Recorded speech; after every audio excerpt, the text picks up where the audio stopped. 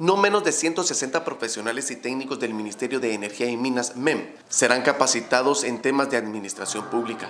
El proceso se realizará gracias a un convenio firmado entre el MEM y el Instituto Nacional de Administración Pública. Los asuntos a tratar serán relativos al Estado, el gobierno y la administración pública.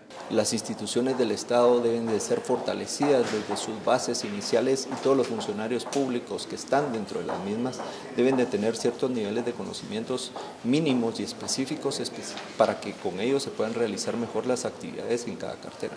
Ustedes van a ver la administración pública de varias perspectivas, una perspectiva de organización, una perspectiva legal, una perspectiva política y una perspectiva ética.